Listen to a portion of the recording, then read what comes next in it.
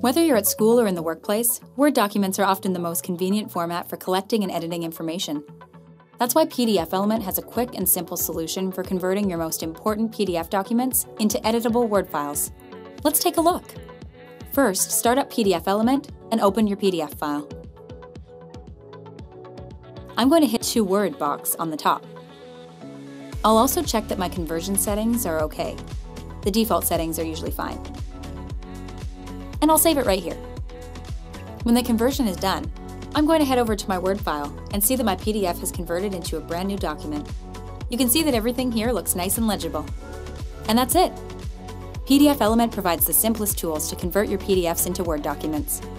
If you found this tutorial helpful, check out the rest of PDFelement's channel online. Thanks for watching, and see you next time!